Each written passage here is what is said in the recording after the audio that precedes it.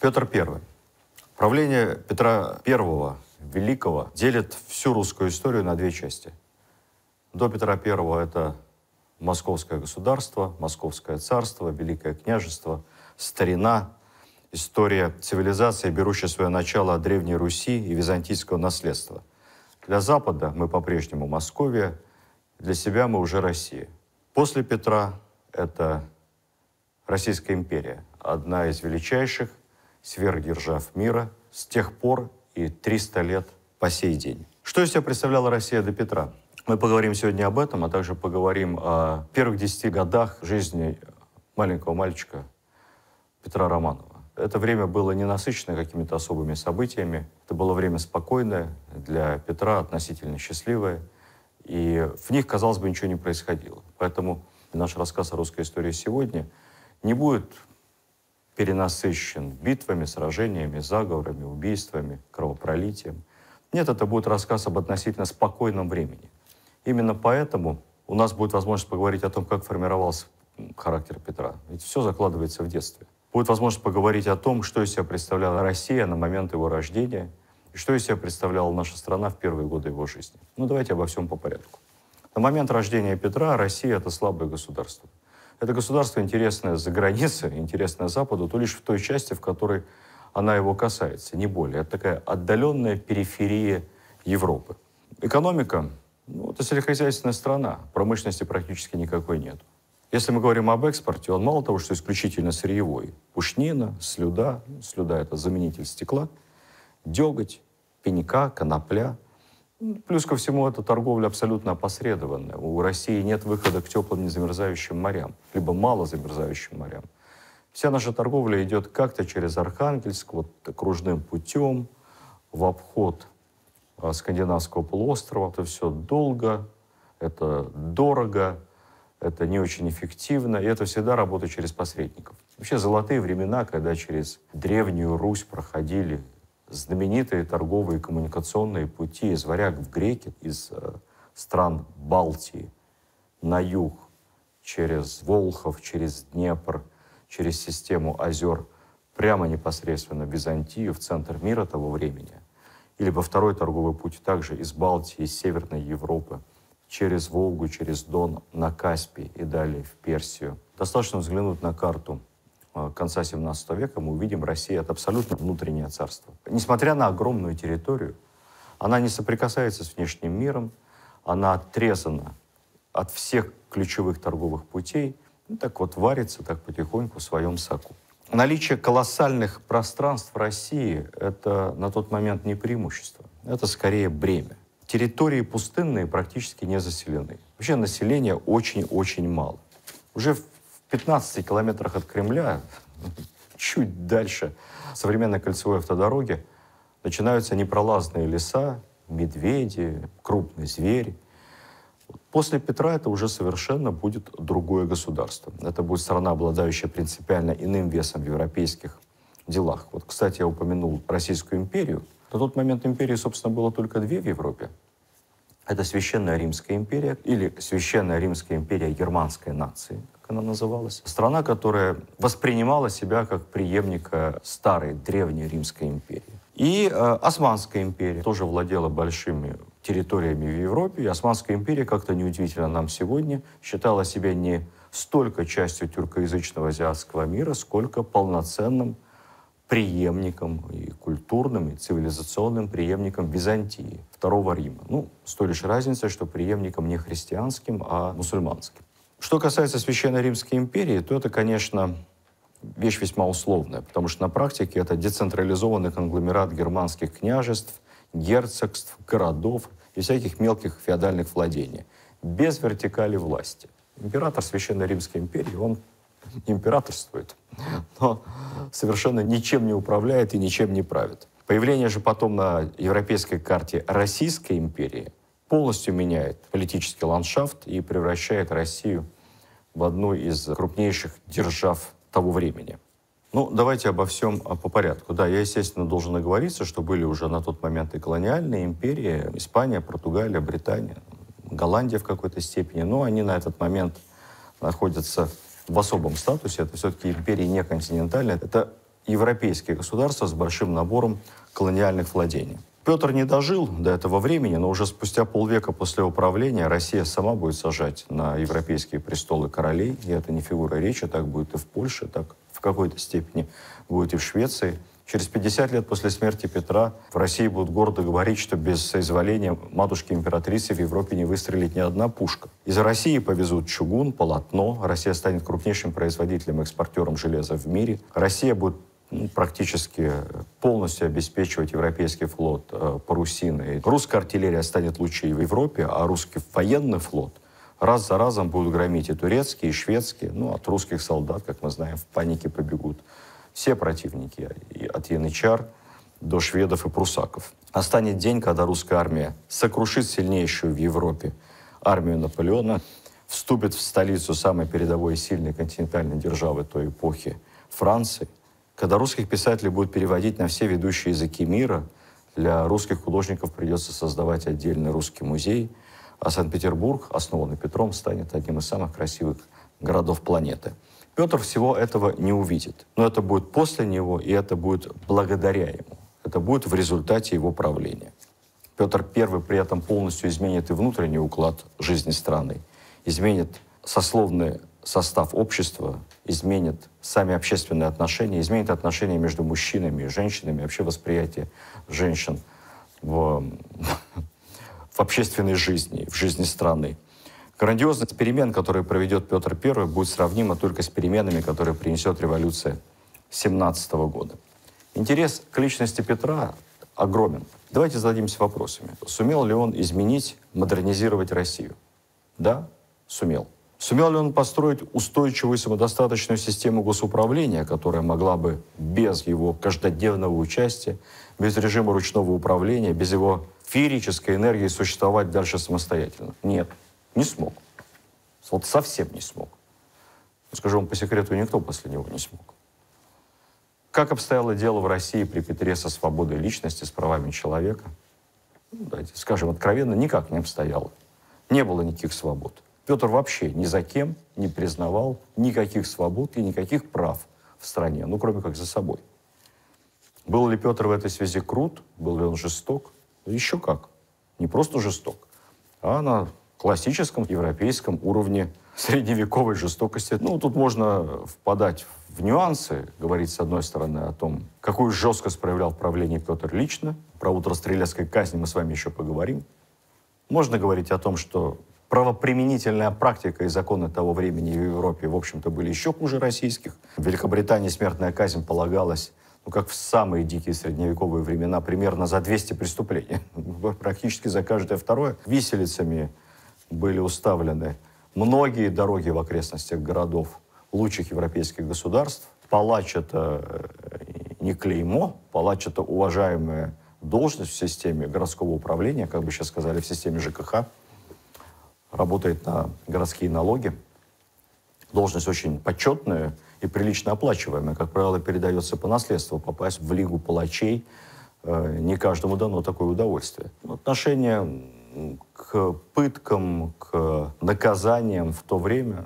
Казни — это такие театрализованные представления, такой публичный театр того времени. Народ с удовольствием собирался на площади европейских городов посмотреть кого, когда, по часам, каком виде. В общем, представление о преступлении и наказании, я не оправдываю Петра, я рассказываю, представление о преступлении и наказании у него были вполне в духе того времени. Следующий вопрос. Как насчет социальных лифтов?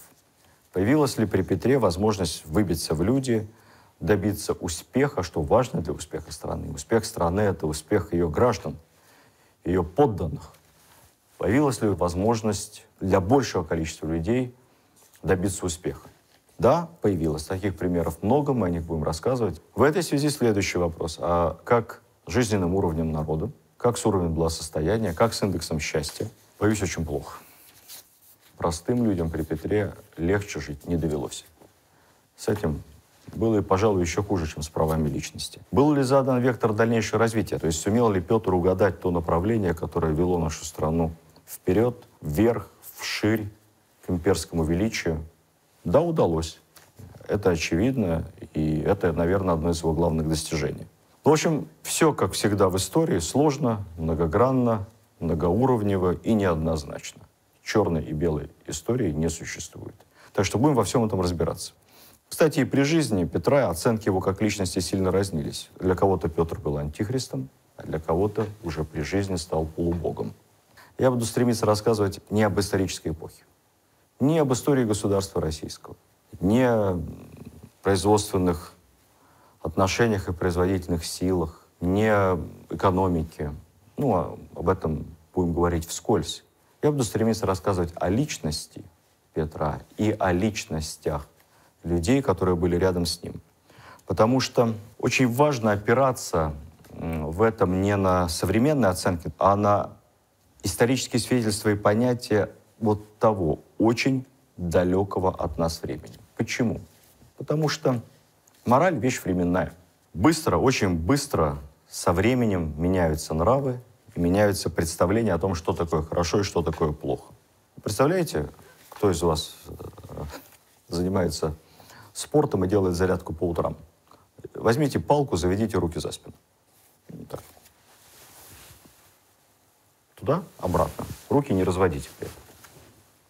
А теперь попробуйте сделать наоборот. Сначала руки с палкой за спину, а потом вперед. А теперь представьте себе, я даже вам описывать это не буду, и попрошу, чтобы в нашей заставке этого не было. Кому интересно, залезьте в интернет. А теперь представьте себе, что такое вздернуть на дыбу. Вздернуть на дыбу – это даже не особая так себе пытка в те времена. Это просто метод проведения следственных мероприятий. Сейчас даже в каких-нибудь диких диктаторских режимах не станут пытать на дыбе. А тогда в Европе обычная практика. Далеко не самая изощренная из издевательств над человеком. Когда мы будем говорить с вами о жестокостях того времени, нам очень важно попытаться не давать оценку, исходя из наших сегодняшних представлений о добре и зле. Петр не мать Тереза. Нам важно попытаться понять логику этого человека, мотивы его поступков, человека, который, да, был облечен исключительной властью, но при этом все-таки оставался человеком. Вот на этот и на другие вопросы мы постараемся ответить в этом лекционном курсе. Возможно, это нам поможет понять не только Петра, поможет понять не только собственную историю, а поможет понять и самих себя – Откуда мы взялись? Почему мы такие, а не другие? Почему мы не европейцы? Ну, в таком в протестантско-англосаксонском, германском понимании этого слова.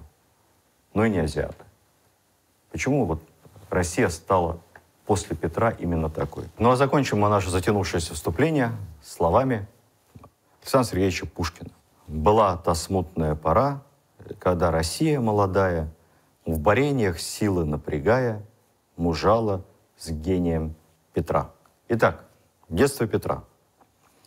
Петр появился на свет, повторюсь, в самом большом государстве Европы по площади, но далеко не в самом сильном. Выхода к Балтике нет. Представьте себе вот Центральный федеральный округ. Там, где сегодня Ленинградская область, не говоря уже об Эстонии, там, Латвии, Риге и так далее, это владение Швеции. Новгород, нынешний Волгоград, Царицын, Астрахань. Это уже московские владения, но это дальняя-дальняя периферия. К югу от Воронежа и Белгорода лежит дикое поле, земли, через которые на Русь регулярно совершают набеги крымские татары. Крымское ханство вообще мощное и агрессивное государство. Грабят, угоняют в рабство. В стране даже существовал специальный налог, так называемая крымская деньга. Налог благородный, хороший для выкупа захваченных крымчаками русских людей. Ну, что происходит дальше за Уралом и в Сибири? Там и вольница, и освоение новых территорий, и начало строительства новых поселений, и знакомство. Обычно, кстати, весьма миролюбивое знакомство с новыми народами. Это такой русский неизведанный фронтир образца 17 века. Если мы посмотрим к югу от Урала, там начинаются южноуральские степи, это тоже не русские земли. Сегодня путь из Москвы в Калугу – это так, ну, два часа за рулем, если без пробок. Ну или часа три, наверное, на электричке. А тогда, ну это самые быстрые четыре дня на лошадях. Дорог вообще нет. В лучшем случае разбитые просеки, практически непроходимой во время распутицы. Городов мало, да и деревень мало. Вообще людей очень мало. Страна недоселена. Ну, кстати сказать, в Европе тоже было не особо лучше, потому что в это время лучшими дорогами в Европе оставались построены еще римлянами полторы тысячи лет назад. Но Европу спасает высокое население, энергичное население, и спасают, конечно, размеры, поскольку территория любой европейской страны по сравнению с Россией компактная и небольшая. Наши земли, вспомните Гоголя, из нашего города хоть три года скачи, ни до какого государства не доскачешь. И это, кстати, еще касательно тех мест, куда вообще ведут какие-то дороги, потому что, скажем, до самого северного города России той поры Пустозерска, сейчас этого города нет, это покинутый, забытый город, а тогда это довольно важная северная крепость, и путь, с одной стороны, с севера через Урал, а с другой стороны, возможность продавать пушнину северными морями английскими купцами в Европу. Вот до Пустозерска вообще нет никаких дорог, в принципе, туда нельзя доехать на телеге только пешком, либо э, вести лошадь на поводу. А тем не менее, там тоже живут люди, там тоже крепость, там тоже церкви, там, ну, там даже протопопа Авакума держали в заточении, а потом, собственно, и казнили именно в Пустозерске. Что касается на восток от Урала, открывается ледяная беспредельность. До Томска, до Тобольска. До этих городов едут год, год едут. До Иркутска из Москвы едут два года. Трясутся в телеге, вышагивают рядом с воском. Пережидают разливы рек, сильные морозы и дожди. Воевода, назначенный в Якутск при первом Романове, добирался до Якутска три года. Три года добирался до пункта своего назначения. Сегодня несколько часов на самолете. И не могу не вспомнить, это уже было сильно после Петра, историю XIX века, случившуюся с Камчатским, главой администрации, как бы сейчас сказали. Он жил в Тропалске-Камчатском. И очень любил читать свежие газеты. Тогда, конечно, сообщение, это все-таки 19 век, поэтому сообщение было гораздо более энергичным, чем в петровские времена. Человек любил быть в курсе новостей. Каждое утро он садился за завтраком, и перед тем, как приступить к выполнению своих рутинных чиновничьих обязанностей, ознакомливался с последними новостями Петербурга. Ему приносили свежую газету этого числа, этого дня, этого месяца. Он читал новости и потом приступал к своей служебной рутине. Очень важно следили за тем, чтобы газета была именно этого дня и поступала к нему без задержек. Он всегда внимательно знакомился с новостями Петербурга минус год. Газеты поступали к нему в среднем с годовой задержкой. Если приходил на пару недель пораньше, то ему просто это не давали. Зачем тебе нужно знать слишком много избыточно свежих новостей? Вот ровно минус год. Что представьте себе, что было до Петра.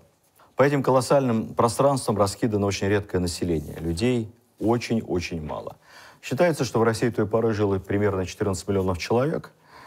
Это очень оценочная цифра потому что никаких переписей населения до Петра не проводилось. Были только так называемые подворные списки по числу дворов. Считали их в целях налогообложения. Исходя из количества дворов, можно приблизительно прикинуть и численность населения. Принято говорить, что примерно где-то около 14 миллионов. Плюс-минус пару миллионов. Что бы это ни было, на всю огромную Россию, существенно меньше, чем население Франции, существенно меньше, чем население Италии того времени, и даже меньше, чем население Речи Посполитой. Москва в те годы столица царства, город с ярко выраженным своеобразием. В нем, конечно, было много плюсов, потому что в сравнении с европейскими столицами это город большой, по территории, раскинутый и буквально утопающий в зелени. По нынешним меркам, как город крошечный, он целиком умещался в современных рамках Садового кольца. Там, где сейчас находится МИД, то есть вот конец Арбата, это уже дальняя окраина, дальняя московская окраина. Кстати, отец Петра, Алексей Михайлович, переименовал Арбат в Смоленскую улицу. И лишь потом уже, в постпетровские времена, историческое название Арбат вернулось на московские карты. Так что, видим, практику переименования улиц придумали не большевики. Дома в Москве большие, просторные, стоящие отдельно друг от друга – не так, как в Европе, буквально без промежуток стенка к стенке. Дома закрываются на большие конные засовы, крутые лестницы, дворики, огороды, много деревьев, фруктовые сады, очень много церквей, очень красивая архитектура.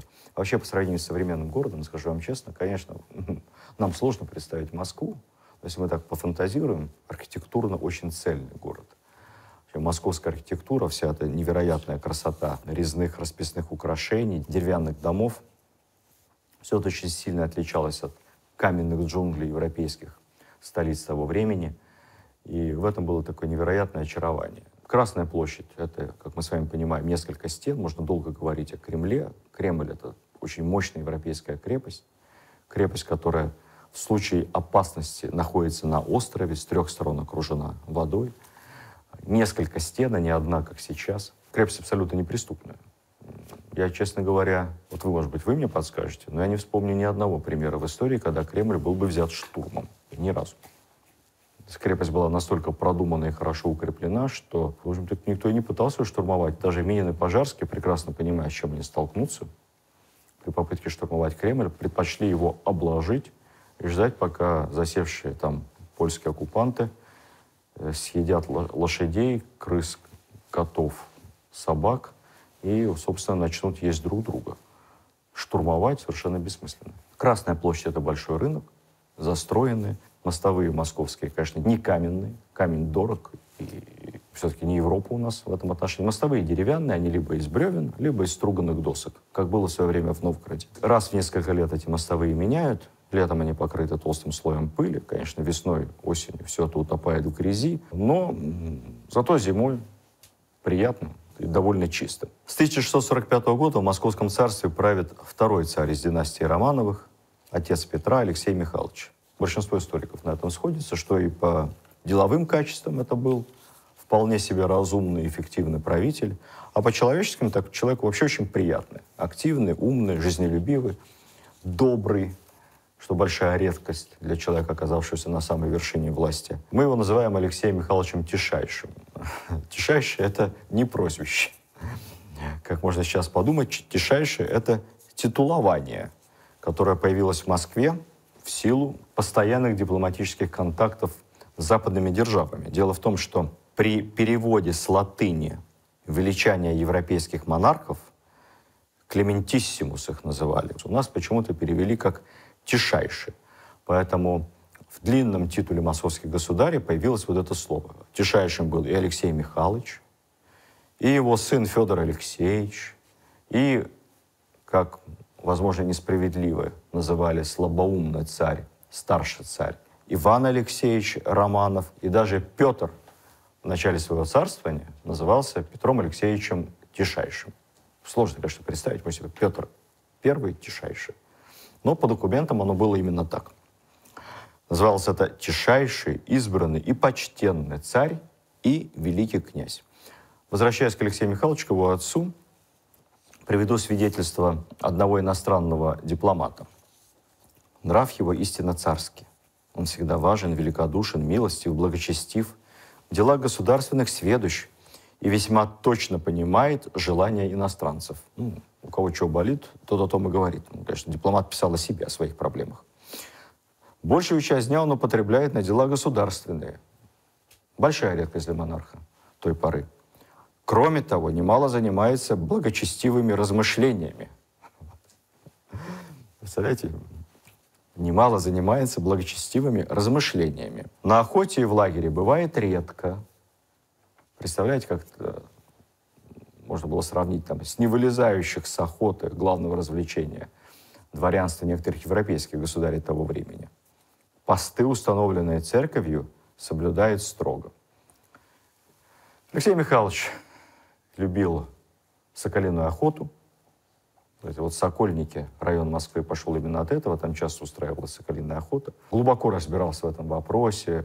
Содержал питомник замечательных соколов. И даже написал, вы не поверите, трактат об особенностях национальной охоты в России, главным образом посвященный использованию обученных соколов. Любил шахматы, как и Иван Грозный, часто играл. Любил рассказы о далеких путешествиях и иных землях. И вообще был, как бы сейчас сказали, убежденный западник.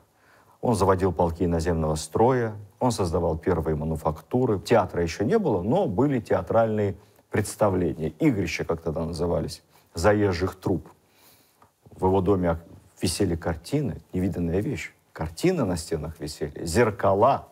Ну, в общем, вполне себе европейски ориентированный государь. В селе Измайлово, не могу об этом вам не сказать, государь посадил виноградный сад на пространстве целой версты. Представляете, верста, существенно больше километра. Виноградный сад, где разводились виноградные лозы, а также росли различные сорта яблонь, груш, слив, вишни и другие заморские деревья. В общем, такой был парадиз в Измайлово. Поэтому замечательному фруктово-виноградному саду любил гулять со своими наставниками, воспитателями, впоследствии маленький царевич Петр. Ну, вот, впрочем, век, в отличие от царя, который все это происходило, тишайшим не был. Современники называли его бунташным.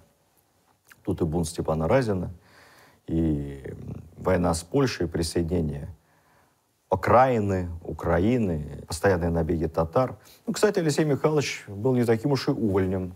Вполне был себе боевой человек. Он сам лично водил войска на войну и был весьма осмотрительным и разумным полководцем. По крайней мере, ни одного крупного поражения с его именем не связано. Есть одна забавная история про то, как некий известный чешский художник Вацлав Холлер написал необычный портрет царя Алексея Михайловича. Изобразил он его не в парадном виде. Парадные портреты имели мало общего с реальным изображением выражения лица государя. А он изобразил его в виде кота. Портрет назывался «Подлинный портрет кота великого князя Московии». Ну или же «Подлинное изображение кота великого князя Московии». Как-то он закамуфлировал выражение лица государя в коте – Взгляд у кота на гравюре суров, серьезен, уши торчком. В общем, серьезный товарищ. Мы, наверное, еще будем говорить с вами и о внешности Петра довольно много. Она была очень необычная. Петр родился от второй жены Алексея Михайловича. Это сын его от второго брака. Немного забегу вперед. И все Романовы по мужской линии, они такие довольно физически слабые, болезненные молодые люди. Петр же, наоборот, был необычайно с вами высок. Официальная цифра 2 метра 4 сантиметра. Ну, по тем временам он просто вот так вот, вот ему тут где-то высокие люди того времени. Очень худой. Считается, что с узкими плечами. В петербургских музеях любят рассказывать о том, что у него размер кафтана был 48 в плечах. Верится мне с трудом, честно говоря, в это. Думаю, кафтаны сильно усохли. Небольшой размер ноги. Поэтому Петр не любит стоять, он все время в движении, он очень быстро, он практически, когда идет, почти бежит. Вот если он шел быстрым шагом, то его сподвижники за ним вынуждены были бежать трусцой, таким джогингом заниматься. Он такой не очень складный, но при этом очень сильный физически. Есть тут памятник Петропавловской крепости, можете его посмотреть, памятник Шемякина, который почему-то считается самым точным изображением Петра. На мой взгляд, это конечно, полная галиматья. Карикатурное весьма изображение, такое художник так видит. Считается, что наиболее точный портрет молодого Петра — это кисти Готфри Неллера 1697 года. На этом портрете Петру 25 лет. Вот он очень похож на оригинал. Если мы уберем доспехи, то мы увидим довольно симпатичного молодого человека с круглым лицом, с усиками, худощавого, но, но и только. И эта худоба, она, в общем-то, за счет высокого роста. Как писал Василий Ключевский, Петр был без малого трех аршин ростом целой головой выше любой толпы. От природы он был силач. Постоянное обращение с топором и молотком еще более развило его мускульную силу и сноровку. Он мог не только свернуть в трубку серебряную тарелку. Я здесь добавлю от себя любимой забавой Петра. Такой шуткой было взять монету какую-нибудь. Тогда монеты довольно крупные были. И вот там двумя, тремя пальцами ее сложить пополам и подарить какой-нибудь девочке как сувенир со словами вот найдешь парня, который ее разогнет, смело выходи замуж. Значит, крепкий парень, значит. Ну, кочергу-то он сворачивал так шутя. Они так с, потом со своим другом и собутыльником Августом Саксонским любили, слегка выпив. Петр завяжет кочергу узлом. Август Саксонский, который тоже был такой крепкий детина, пытается ее развязать. Если у него получится, Петр еще раз завяжет узлом покрепче. Дальше Ключевский пишет. Он мог не только свернуть в трубку серебряную тарелку, но и перерезать ножом кусок сукна на лету. Ну, такой резкий был. В свое время я уже говорил о династической хилости мужского потомства патриарха Филарета, отца первого Романова. Первая жена царя Алексея не осилила этого недостатка фамилии, зато Наталья Кирилловна, мать Петра, оказала ему энергичный отпор. Петр родился в мать. особенно походил ростом и статью на одного из ее братьев Федора. Вообще, несколько слов о здоровье того времени, забегая опять же вперед, потому что тема здоровья в истории Петра имеет очень важное значение. С современной точки зрения болезни этого времени практически не лечили вообще. Человек либо излечивался сам с помощью бани, трав и кровопускания, либо умирал. Спасал только невероятной силы для нас сегодняшних природный иммунитет. Спасала непотревоженная еще экология, спасал, конечно, жесточайший естественный отбор. И жесточайшее сито этого отбора не миновали даже царские особы. Колоссальная детская смертность того времени, ее сегодня даже трудно осознать. Ей противостояла только высокая по нынешним временам рождаемость. Вот посмотрите, царские семьи. Конечно, у царей максимально хорошие врачи, максимально хороший уход за новорожденными. И тем не менее, из десяти детей первого царя из династии Романовых, Михаила, деда Петра, Михаила Федоровича, до взрослого возраста доживет только четверо. Четверо. То есть смертность 60%. Из 13 детей, рожденных от первого брака отцом Петра, Алексеем Михайловичем, взрослыми станут только шесть, менее половины. Из трех детей, рожденных Натальей Нарышкиной, второй супругой, выживут двое. Девицы Романовы были немного поживучие, и так получилось, что Алексей Михайлович стал отцом целого выводка активных, неплохо образованных по меркам 17 века царевин, но, к сожалению, замуж из них ни одна не вышла по понятным причинам. За кого может выйти замуж царская дочка? У него шесть взрослых дочерей, включая царевну Софию, о которой он говорит отдельно и подробно. За кого может выйти замуж царская дочь? Ну, вот представьте себе, за кого. Она может выйти только за православного, это естественно. Кто у нас православные государи, чтобы выйти замуж за равного в том времени? А их просто нет. Черногория, ну, в Молдавском княжестве вассальном вроде бы там есть православные. Все, список исчерпан. Все православные страны того времени, Сербия, Греция, это все, все под турками. Значит, надо тогда выходить замуж за своих бояр. Тут э, вопрос не только в каком-то высокомерии, непочетно. Вопрос в другом. По традиции права того времени, выходя замуж, девушка обретает права, титул и состояние своего супруга. Она за мужем. То есть, если боярская дочь или даже дворянская дочь Нарышкина выходит замуж за государя, она с этого момента государиня. А если царская дочь, царевна, выходит замуж за дворянина, она с этого момента просто обычная дворянка. И все. Не говоря за мещанина или за офицера. Все. Жизнь потеряна. Найти ровню практически невозможно. Ну, пытались, были попытки выдать замуж за европейцев. Редкие и всегда неудачные в последнее время. Ну, крупные европейские монархи, они, естественно, смотрели на московитов так свысока. Борис Годунов пытался выдать свою дочь за заморского принца, протестанта. Потому что к протестантам мы относились лучше, чем к католикам. Католики — это уж совсем идеологические враги, идейные.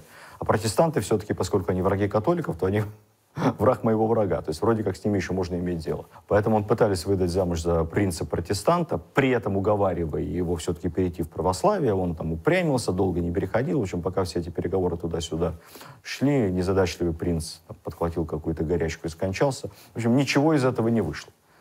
Но, наверное, мог отважиться только такой западник, как Борис Годунов. С той поры никто, в общем, и не пытался выдать принцесс за западных принцев либо западных монархов. Поэтому, к сожалению, все дочери, многочисленные, умные и образованные дочери Алексея Михайловича, так своего счастья в личной жизни не нашли. Что происходит дальше? Во время родов 13-го ребенка, 13 ребенка супруга Алексея Михайловича, Мария Милославская, умирает. Проходит какое-то время, царь женится повторно. Его выбор остановился на воспитаннице своего ближайшего доверенного друга, боярина, неформального премьер-министра Московского государства Артамона Сергеевича Матвеева. Вообще история того, как Наталья Нарышкина, будущая царица, попала в дом Матвеева, весьма красиво и романтично. Если верить старинной легенде, то боярин Матвеев проезжал мимо некого селения Киркина, это рядом с современной Рязанью, проезжал, выглянул в окошко и увидел там девочку. 11 или 12-летнюю, которая безутешно рыдала у своего дома. Боярин остановился, ему девочку эту стало жалко, и спросил, что ты, девица красная, плачешь? Оказывается, девица оплакивала свою подругу, которая как-то там из-за несчастной любви самовольно удавилась. Это так тронуло боярина Матвеева, что он решил взять эту девушку себе на воспитание. Кстати, село это существует Киркино и по сей день, там эту историю рассказывать любят, что вот отсюда именно пошла родом мать самого Петра Великого, обычная, э, из небогатого относительно дворянского рода, девица. Ну, все это, конечно, не совсем правда, потому что, как случайно потом выяснилось, отец этой девушки приходился родственником жене Матвеева. Я думаю, что историю придумали по факту, но так либо иначе Наталья Нарышкина оказалась в доме боярина Матвеева на воспитании. И познакомилась там с овдовевшим царем Алексеем Михайловичем. Знакомство и произошло абсолютно на современном европейском уровне. Боярин Матвеев, зная, что царь безутешен, тоскует, детей много, хозяйки дома нет, пригласил государя к себе домой пообедать. Ну, совершенно случайно за столом оказалась его воспитанница, молодая и красивая Наталья Нарышкина. Вот так за столом в общей компании познакомились. Царь влюбился, ему было 40 с небольшим, довольно молодой человек еще, по современным меркам. Тогда, конечно, уже степенный муж. Царь влюбился, царице в то время 21 год, государь в два раза старше. Они поженились. У них было трое детей. Сын Петр и две дочери. Одна умерла во младенчестве, вторая дочь Наталья, с ней Петр, в общем, был дружен потом всю свою жизнь. Любимая его сестра.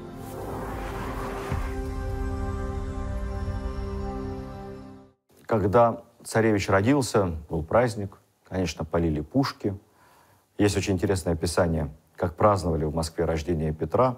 Я не буду все это описание зачитывать. Там есть один потрясающий момент. Половину этого описания рассказывается о том, как много было сладостей на Перу.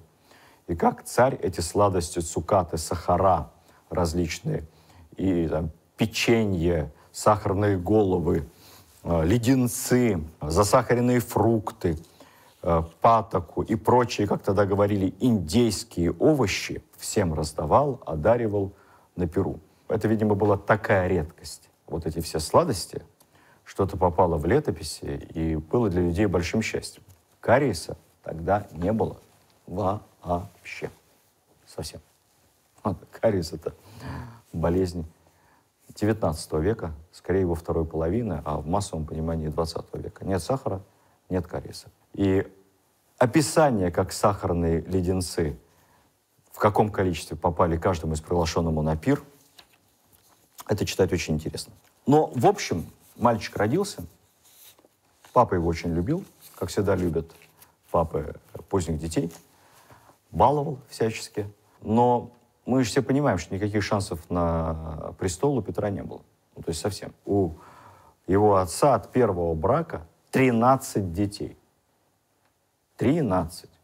Ну, понятно, что к этому моменту уже некоторые дети умерли, но все равно шесть взрослых разумных дочерей, два взрослых сына, Федор и Иван. Поэтому ну, не дойдет очередь ни при каких обстоятельствах. Кстати сказать, никто не знает, почему его назвали Петр. Петр очень редкое имя. Ни в семье Нарышкиных, ни у Романовых никогда ни, никаких Петров не было, хотя детей было много.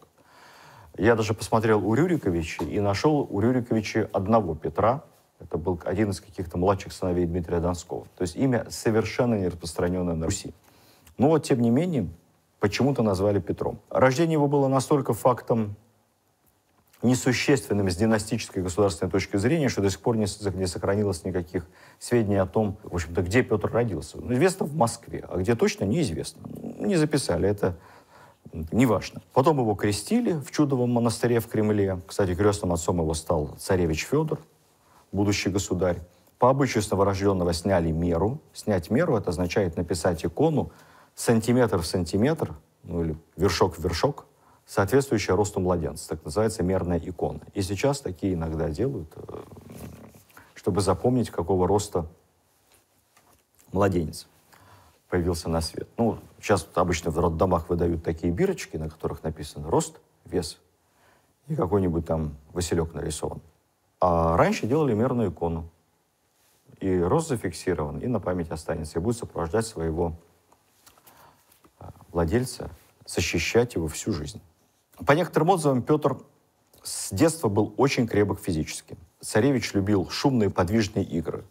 У него в горницах вскоре появились, я зацитирую, «Конь деревянный потешный, пушки деревянные, корабли серебряные с каменьями, барабаны, луки маленькие, булавы, шестоперы, пистоли, сабли, прапорцы, ну то есть знамена, ну и всякие другие игрушки, которые свидетельствовали о том, что мальчик с трех лет очень увлечен всяким военным делом. Отец баловал его и любил до такой степени, что создал так называемый Петров полк. Первый потешный полк. Первый потешный полк был не Преображенский и не Семеновский, а созданный Алексеем Михайловичем Петров полк. Это были молодые ребята, одетые в одинаковые зеленые мундиры, вооруженные, кстати сказать. Командовал которыми неполных четырех лет мальчик Петр. Ходил, махал руками, отдавал какие-то команды. А, папу это очень-очень забавляло. Продолжался это недолго. Петру еще не было четырех лет, когда Алексей Михайлович неожиданно умер. И вот начиная с этого момента баловать его перестали. Царем стал 15-летний Федор. Эта смерть, смерть царя разделила придворные круги на две группировки. Фактически царь оставил после себя две семьи. Он оставил двух сыновей, шесть дочерей от первой жены Милославской, и, с другой стороны, оставил свою молодую жену, царицу Наталью, с сыном и двумя дочерьми. Ну, дело в том, что каждая семья имела огромный клан влиятельных родственников. Да. Эти родственники занимали важные посты в государстве. И у каждого были свои претензии на влияние, на ресурсы, на места. Противостояние между Нарышкиными и Милославскими, которые сам царь Алексей Михайлович, пока был жив, как-то сглаживал, тут же моментально обострилось. Ну, так было всегда в Европе и во всем мире. Знаете, в европейских странах иногда даже при смене жены монархов предыдущих казнили, либо отправляли в изгнание, в заточение, причем включая даже родственников, так, чтобы не путались под ногами. Ну, такая вообще была общепринятая практика. Но так либо иначе на престоле оказался э, старший брат Петра Федор от э, другой матери. Федору было 15 лет. Федор был очень милым, образованным человеком. Об его образовании отец позаботился. Его учили самые лучшие преподаватели того времени. Семен Полоцкий, просветитель, известный, образованнейший человек Семен Полоцкий. И его последователь Сильвестр Медведев. Широкомыслящие продвинутые люди, что они даже планировали создание тогда в Москве первого университета. Ну, что-то там у них не сложилось, не успели. Федор говорил по-польски, читал на латыни, читал по-древнегречески, при этом читал в подлиннике античных авторов, хорошо знал религиозную литературу, увлекался музыкой, особенно пением, сам сочинил несколько духовных песнопений. Ну, то есть в полном смысле слова был царь-интеллектуал. Проблема у Федора была только одна – слабое здоровье. И, конечно, его родственники Милославские, понимая, что надо как-то закрепиться около трона, всячески пытались его быстро-быстро женить, подобрать ему девку посимпатичнее, поздоровее, и чтобы у Федора появился наследник. Ну вот тут вот как-то не заладилось, потому что Федор влюбился. Влюбился по-настоящему в никому неизвестную какую-то дочку смоленского дворянина Агафью, случайно совершенно попалась ему на глаза, уперся, сказал, что ему не нужны никакие знатные боярыни, никакие богатые невесты, вот он любит Агафью, и все. Как его не уговаривали, как не ругались с ним все его родственники Милославские, несмотря на всю свою хилость и, как бы сейчас сказали, интеллигентность, Федор оказался юношей упрямым и настоял на том, что женился по любви. Но жениться по любви не может ни один ни один король. Случилось так, что Агафья, жена его, при первых же родах заболела родильной горячкой, видимо, произошло какое-то отравление организма. Через три дня после родов она скончалась. А, Федор был безутешен. Федор никого к себе не подпускал, рыдал, трясся над наследником. Родился мальчик, назвали его Илья, тоже очень редкое имя. Не прошло и десяти дней, как мальчик тоже умер. Федор и до этого был слабым. Эта трагедия сломила его окончательно. Для вдовствующей царицы Натальи Нарышкиной наступает время, как писали тогда, время нелюбови или время нелюбья. Первое, что делают Милославские, они отправляют в опалу главную силу клана Нарышкиных, боярина Артамона Матвеева. Артамон Матвеев – это такой Столыпин того времени. Это невероятный западник, у него самый красивый дом в Москве, дом, который можно сравнить с домом герцога британского или э, знатного французского э, вельможи, дом с огромной библиотекой, с э, невероятным количеством картин, красивой европейской мебели, дом, где все одеваются по-европейски в польское платье, дом, где говорят на разных языках, дом, где девушки, женщины ведут себя достаточно свободно, заходят на мужскую половину, вместе обедают и ужинают. Это очень просвещенный передовой дом того времени, и Артамон Матвеев, э, крупный государственный деятель, боевой офицер в молодости, э, он тоже ведет себя вот так вот очень просвещенно. Ну, Матвеева сразу же высылают Милославские ссылку сначала в почетную ссылку, воеводы куда-то там далеко-далеко в Верхотурье, а потом в тот самый страшный город Пустозерск, в нынешнем Ненецком автономном округе, куда Макар телят не гонял, и куда даже нет дороги. Сама вдовствующая царица Наталья от греха подальше вместе со своими детьми уезжает из Кремля в Преображенское. Преображенское – это подмосковное село – и живет там тихо и спокойно. Вот там и проводит несколько лет маленький Петруша. Ну, чем занимается Петруша? В юном возрасте, в юном возрасте мальчик должен учиться. Вот ему в возрасте пяти лет и нанимают учителя. Учитель это знатный, имя его запомним. Зовут его Никита Зотов. Никита Зотов и научит Петра маленького всему, что умел сам. умел он немного. Вообще по должности Никита Зотов был приказным дьяком приказ большого прихода. Переводя на современный язык, это что-то типа один из руководителей Федеральной налоговой службы. Вот как описывает Ключевский со всей обезоруживающей простотой, как Никита Зотов стал воспитателем царского сына и будущего императора Всероссийского. Некто Соковкин привез Зотова к царю и, оставив в передней, отправился с докладом. Вскоре из комнаты царя вышел дворянин и спросил, кто здесь Зотов? Будущий учитель так оробел, что не мог сдвинуться с места. И попросил подождать, пока он придет в себя. Наконец, перекрестившись, он пошел к царю, который пожаловал его к руке и проэкзаменовал в присутствии Симеона Полоцкого. Ну, царь это, собственно, Федор, молодой государь. А почему к Симеон Полоцкий? Понятно, потому что это признанный образованный авторитет. Ученый-воспитатель царя Федора одобрил чтение и письмо Зотова, ну, видимо, сам Зотов все-таки читал и писал изрядно, и потом его повезли к царице-вдове, то есть к Наталье Нарышкиной. Та встретила его, держа Петра за руку, и сказала, «Знаю, что ты в доброй жизни и божественном писании искусен. Вручаю тебе моего единственного сына». Зотов залился слезами и, дрожа от страха, повалился к ногам царицы со словами – недостоин я, матушка государиня, принять такое сокровище. Ну, повел себя как надо себя вести, правильно повел, по этикету того времени. Царица тоже пожаловала его к руке и велела на следующее же утро начать учение.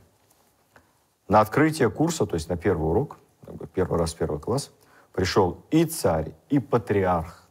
Начали они урок со смолебна, с водосвятием, окропили святой водой нового Спудея, ну, как бы Спудеем что-то называют первоклассника Петрушу, и, благословив, посадили его за азбуху.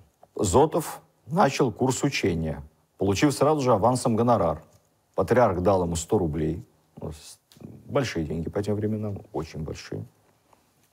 А государь, по случаю 1 сентября, произвел его во дворяне – Царица-мать прислала ему две пары богатого верхнего платья и весь убор. Ну, что такое весь убор, не знаю. Наверное, полный комплект цивильной и гражданской одежды, в который по уходе государя и патриарха Зотов тут же и переоделся.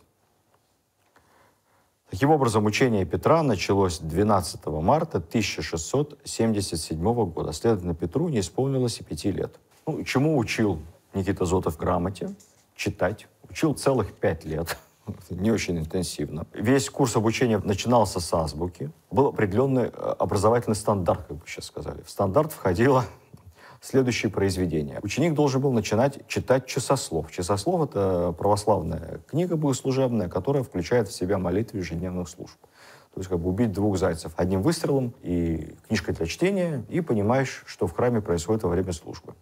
Потом читали псалтырь, это уже более серьезный.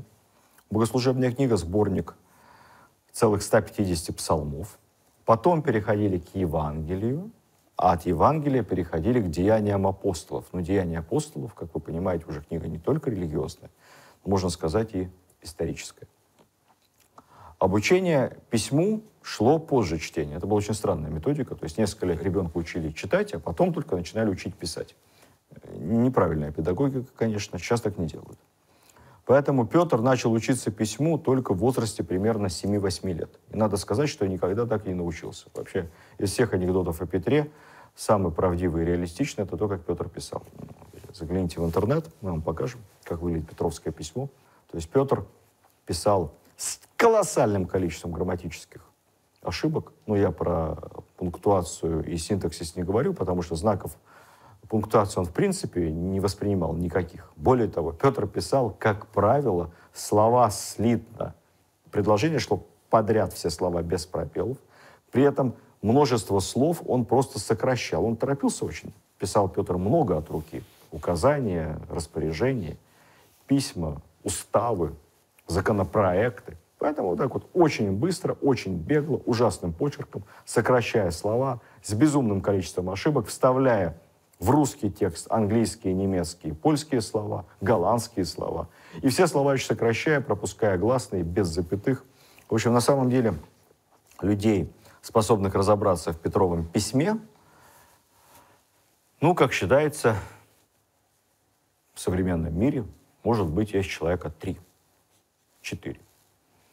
Сбербанк анонсировал создание специальной программы вместе с историческим обществом, искусственный интеллект, не смейтесь, искусственный интеллект, будет заниматься расшифровкой петровских записей, потому что огромное количество петровских записей до сих пор не расшифровано и не переведено на современный язык. Можно разобрать отдельные слова, но сложно понять целиком смысл написанного. Вот он будет расшифровывать все петровские записи, и таким образом с помощью искусственного интеллекта будет сделано все то, что за 300 лет не сделали ученые-историки.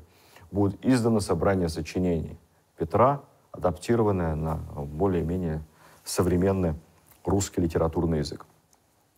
Помимо этого, использовались учебные пособия. В качестве учебных пособий Никита Зотов использовал так называемые потешные фряжские, то бишь итальянские, фряжские или немецкие листы. Что эти листы из себя представляли? Это были такие комиксы, картинки из жизни иностранных государств, либо из истории, на которых что-то красивое было нарисовано, интересное, с подписями. Вот эти вот он листы показывал, показывал специальные там, книжки, там, где э, красками и золотом изображались города, солдаты, были такие целые иллюстрированные повести. Поскольку Петр очень живо этим интересовался, как любой малыш современный, он комиксы полюбил, то для него царица даже заказывала у художников специальные, в единственном экземпляре, специальные разукрашенные книжки, посвященные русской истории, историческим деятелям, церковным сюжетам религиозным. Вот по таким вот комиксам он изучал историю. Потом воспитатель уже с возрастом, когда Петру уже было там ближе к 10 годам, стал брать из царской библиотеки книги о славных мужах прошлого. Он читал ему книги об Александре Невском, о Дмитрии Донском, об Иване Грозном и даже о его собственном родителе Алексее Михайловиче Тишайшем. Такую любовь к истории – Петр, надо сказать, от Зотова воспринял. И с той поры он э, всегда придавал очень большое внимание изучению истории, даже хотел издать первый краткий курс Петра Первого. Он никак не мог найти толкового исполнителя, который бы написал историю российского государства, историю его деяний. Что-то он пытался писать сам, что-то надиктовывал на бегу по ходу дела.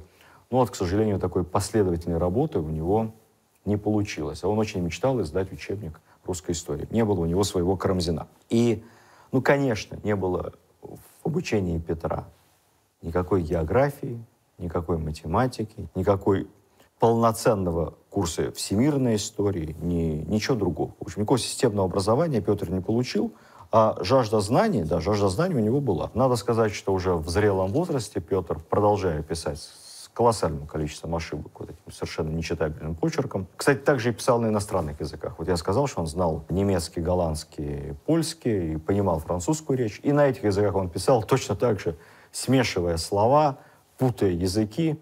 В общем, не комплексовал совершенно. Говорил с иностранцами на некой смеси иностранных языков. Главное, чтобы его понимали. Ну, а кто не понимал, тому хуже. Сам. Это его проблема. В общем, в целом у него получалось. Надо сказать, что Петр потом учился всю свою жизнь. У него была колоссальная тяга к знаниям. И э, не случайно он очень любил овладевать самыми разными профессиями. Ну, начнем с того, что у него были развиты ремесленные навыки. Вот действительно можно сказать, что у человека от рождения золотые руки. Петр очень гордился впоследствии своим собственным умением вырезать, вырубить, выточить на станке любую деталь, которая может пригодиться в каком-то производстве в любом деле, особенно в корабельном. Петр был, говоря о корабельном деле, очень неплохим лоцманом. Это отдельная профессия, профессия непростая. Он был хорошим морским капитаном.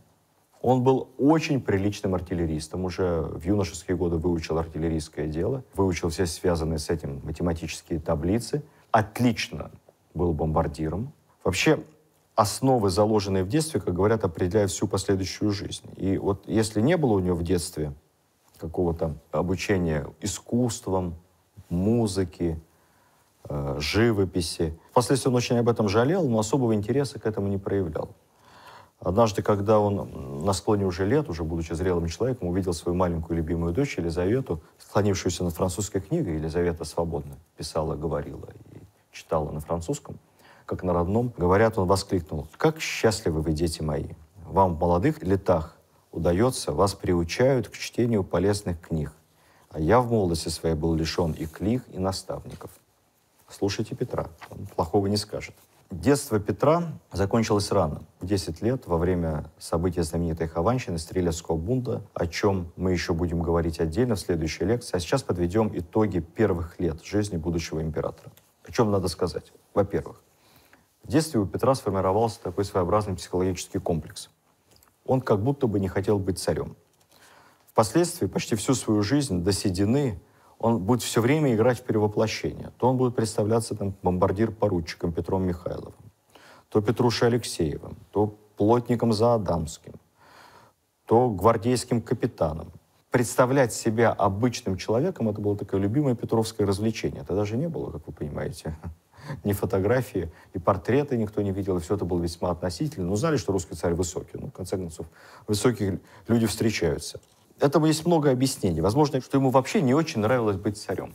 Вот ему нравилось добиваться цели, добиваться результата.